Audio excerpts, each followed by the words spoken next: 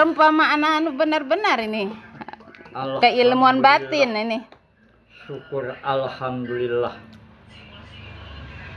Nah sebelum saudara berbicara Bapak Presiden Soekarno almarhum akan memanggil saudara. Assalamualaikum warahmatullahi wabarakatuh.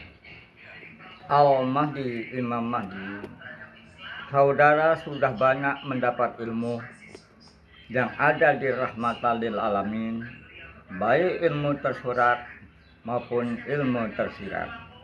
Sekarang saudara mau arahkan ke mana negara Indonesia ini? Ibarat menyetir abah ini. Men menyetir Mau cahaya. arah. eh! Putus dia. Sebentar.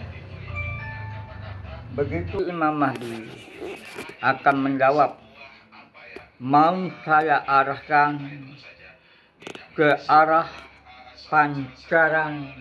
Ini cahayanya cahaya sinar ilahi. ya ini perumpamaan perjalanan Saya Al-Mahdi akan setir Imam negara Mahdi ini dan Ratu Adil ini. ke arah silokanya pancaran Eh, cahaya sinar ilahi untuk mendabrak pemerintah yang zalim. siloka lampu live studio ini Al-Mahdi, Imam Mahdi yang mampu menerobos dan menerobong kebaikan dan kebenaran. Apa kata Bapak kepada rahmatalil alamin? Saya mencintai keluargaku, tetapi lebih lebih saya mencintai negeriku. Ini sudah luar biasa, kata Bapak. Kutitipkan negara ini kepadamu. Kutitipkan negaramu untukmu. Sekarang setelah Bapak Soekarno bekerja sama dengan saya, maka berubah. Kutitipkan negara beriman ini untuk negara beriman untuk orang-orang beriman. Kutitipkan negara beriman ini untuk orang-orang beriman.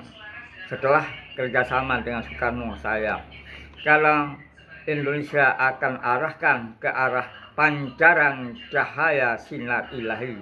Inilah saya arahkan di dalam menyetir negara ini. Mudah-mudahan negara kita ini aman, tentram, gemah ripah luh jinawi aman Amin. tentram lahir dan batin mudah-mudahan semua keluarga saya yang berada di masyarakat Marong dan di masyarakat Lanjok supaya tetap tercurah oleh mercusuar dunia Assalamualaikum warahmatullahi wabarakatuh Waalaikumsalam warahmatullahi wabarakatuh. saya